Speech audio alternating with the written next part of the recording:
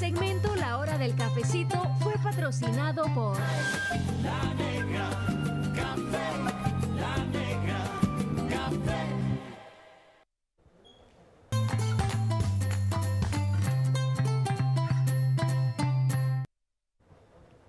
Hola, ¿qué tal? Buenos días amigos televidentes, bienvenidos al segmento Aprendiendo a ser mamá aquí en Primera Hora. Es un gusto saludarle, mi nombre es Xochil Sotelo y estoy muy bien acompañada con mi amiga doctora y ginecóloga Margelia Montenegro. Hoy vamos a abordar un tema de mucha relevancia para todas las mujeres, tanto jovencitas que ya están en una edad sexual reproductiva y por supuesto a todas aquellas mujeres que desean ser madre. Pero para abordar más este tema, la doctora hoy nos va a dar muchas recomendaciones, así que estén pendientes ahí en casita, sobre todo ahorita que tenemos que cuidarnos más por toda la situación que estamos viviendo a nivel mundial. Bienvenida doctora, buenos días. Eh, ¿De qué manera una mujer que está ahorita planificando eh, o concibiendo la idea de llegar a ser madre, de qué manera tiene que empezar los cuidos antes de eh, concebir. Buenos días, doctora.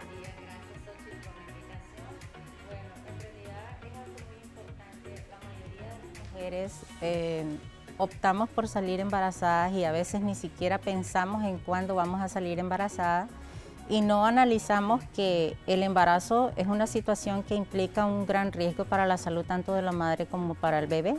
Entonces, una mujer que decide ser mamá, primero debe estar preparada psicológicamente, debe estar preparada físicamente, mentalmente y abordarlo primero con la pareja. O sea, es importante conversar con la pareja para que ambos tomen la decisión y decidan primero ir a una consulta preconcepcional.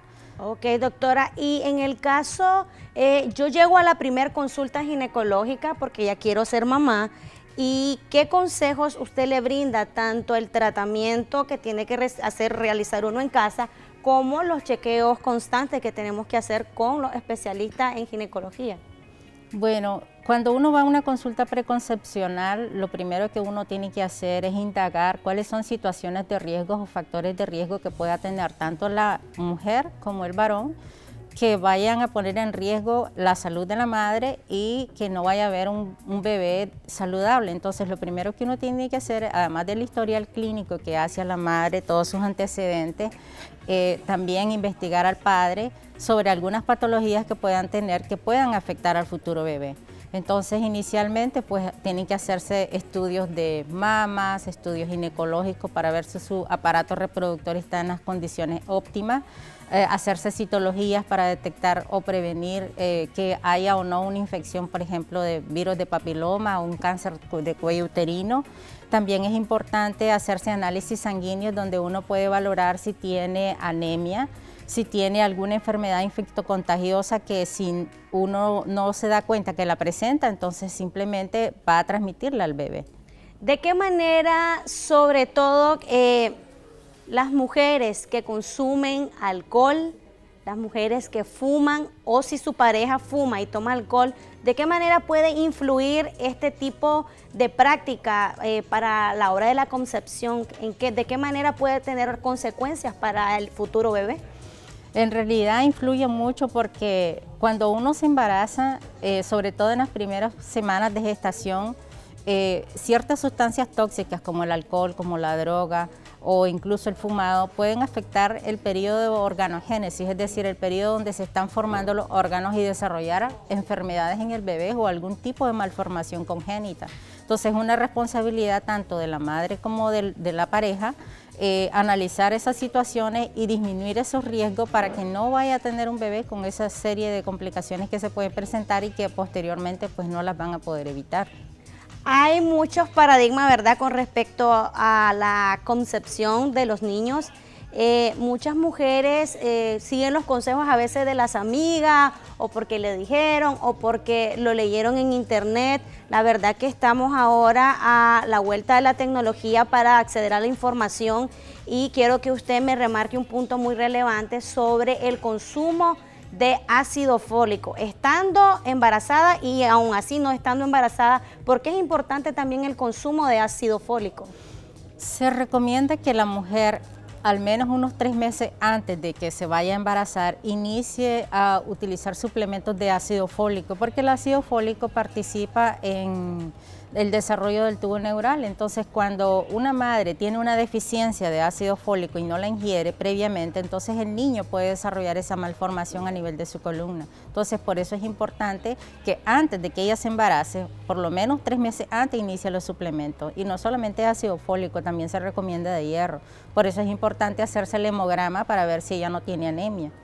Otro punto de mucha importancia, doctora, es el de que muchas amigas televidentes, tanto adolescentes como mujeres ya en una edad avanzada, están presentando mucho esta enfermedad de lo que es ovario poliquístico.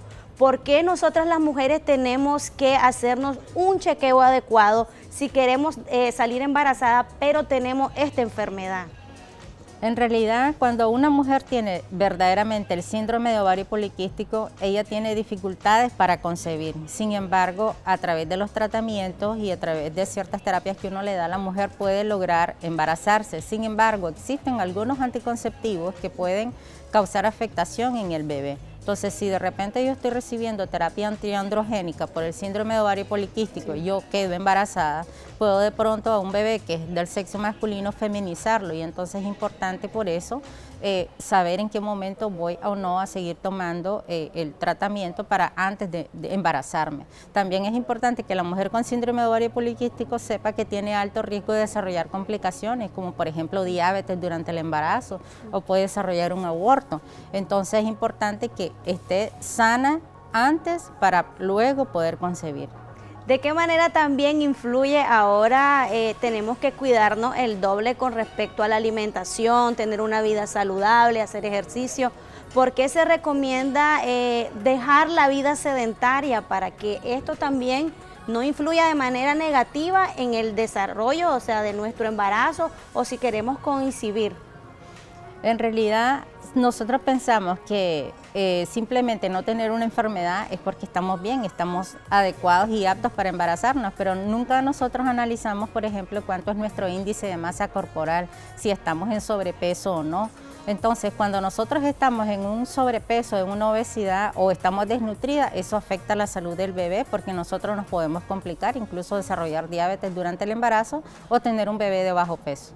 Quiero que remarquemos, doctora, los puntos de relevancia que hemos abordado en la entrevista eh, desde que iniciamos, ¿verdad? La visita al, ginecólogo, eh, comida saludable, dejar, ¿verdad? Los malos hábitos alimenticios y tanto, ¿verdad? Como medida el, alcohol y la, el área fumado hacerse chequeo constante. Quiero que usted me brinde recomendaciones generales, punto por punto, de lo que hemos abordado para reiterarle a nuestras amigas televidentes por qué tenemos que cuidarnos el doble si queremos ser mamá muy pronto. Ok, importante y eh, puntualizando, primero planear, ¿verdad? Primero hacer un plan de cuándo yo deseo embarazarme, en qué momento me voy a embarazar, ver si estoy económicamente solvente como para en este momento tener un bebé. También es importante eh, tomar en cuenta la visita preconcepcional que le debo hacer al menos tres meses antes de que yo vaya a tener el bebé. Eh, mejorar mis hábitos alimenticios, practicar actividades saludables como actividad física, eh, evitar ingerir bebidas tóxicas y sobre todo los suplementos de ácido fólico pues para prevenir alguna afectación en el bebé. Ok, doctora, ¿dónde está ubicado usted para todas las amigas televidentes que nos están viendo en casa? Recuerde que estaremos abordando temas de mucho interés todos los días martes aquí en primera hora de Canal 2, aprendiendo a ser mamá. Este es una tarea de tanto el papá y la mamá para que usted pueda tener un embarazo saludable y un hijo saludable. ¿Dónde está ubicada, doctora, usted para que nos brinde información sobre su clínica? Bueno, acá en Managua, en Clínica Divina Providencia, que queda de la gasolinera 1 de Plaza del Sol, una y media cuadra al sur. Y la otra clínica en León, Medic Park, queda de La Salle, media cuadra al sur. Ok, ya saben amigas televidentes, todos los martes estaremos abordando un tema de su interés y si usted desea compartir con nosotros a través de las redes sociales de Canal 2, usted bien, puede mandarnos sus inquietudes, opiniones sobre el tema que desea saber o más información para que usted tenga un embarazo saludable y se cuide durante esta maravillosa etapa para que usted pueda ser una excelente madre. Por el momento, esto es todo en nuestro segmento Aprendiendo a ser mamá.